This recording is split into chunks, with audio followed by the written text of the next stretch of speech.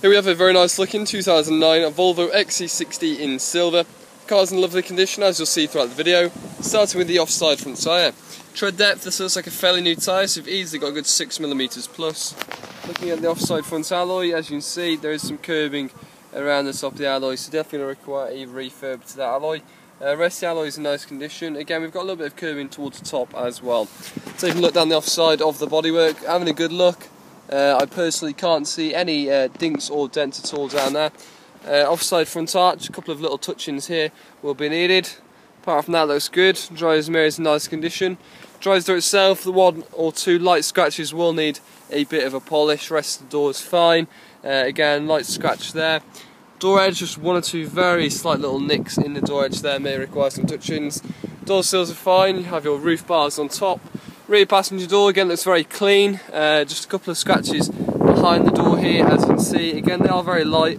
Can't really get my nail into into them either. Rear door is fine. Rear arch, rear quarter, all appears to be in good condition. Again, the rear tyre, you can see there's loads of tread there. So that's a brand new tyre again on the rear. So front and rear tyres are new. Rear alloy, taking a good look at the condition. A little bit of a curb mark there on the outside edge. Apart from that, it looks fine. Moving towards the uh, rear end of the vehicle, as you can see you do have a tow bar on at the rear end of the car as well as rear parking sensors. Bit of a chip there and the paintwork will require smart repair. Apart from that there's a couple of scratches. Um, there's a scratch that I can just about get my nail into so that might need a bit of paint. Apart from that there's a couple of lighter scratches that will polish without a problem but no sign of any damage. Inside the boot you have your parcel shelf and sort of dog guard in there, nice condition. Um, underneath the tray here, as you can see, I've got your spare wheel in there, which is brilliant. That's all in good order. Moving around to the near side rear tyre, and again, that's a brand new tyre on there, easily six millimeters plus. Rear alloy, taking a good look at the condition, and again, real clean, no sign of any curbing at all there. Looking on the near side of the car, now it looks like the rear doors had some paint.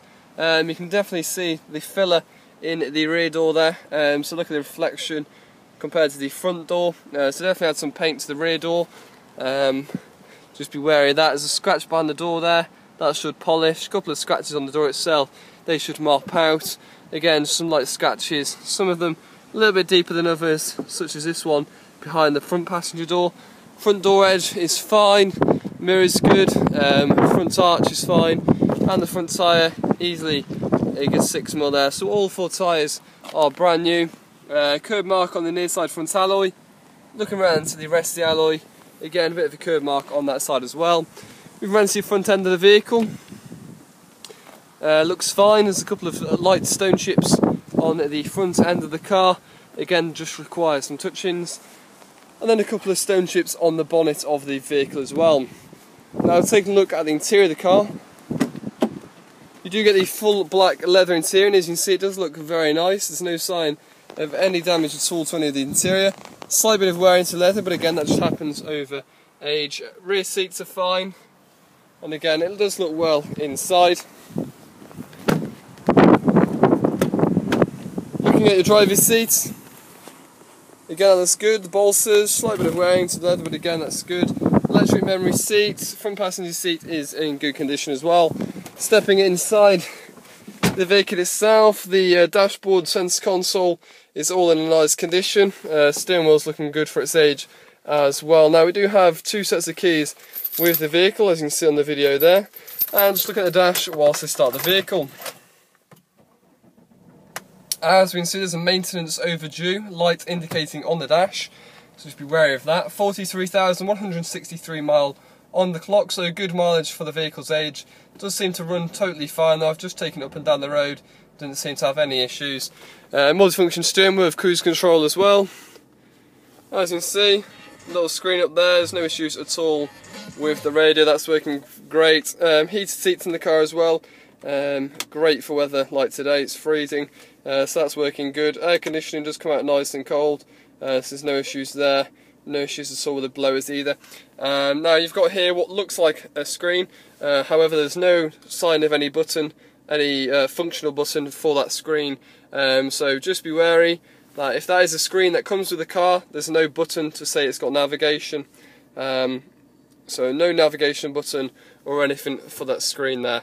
Um, so it's just the, the screen at the top which seems to be working. Uh, looking at the paperwork, looking at the V5, uh, we've got two owners on the vehicle. MOT certificate, we're looking at October 22nd, 2015.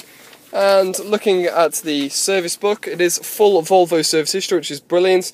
6,000, 3,000, um, 8,000, 17, 28,000, um, and a bit of a jump there to 34,000. Um, so again, plenty of service history with the car, but it is overdue service as we speak. So there you go guys, that's the 2009 Volvo XC60 SE. Some lovely specs to the car as you can see through the video, also in nice condition with four sets of brand new tyres on it as well.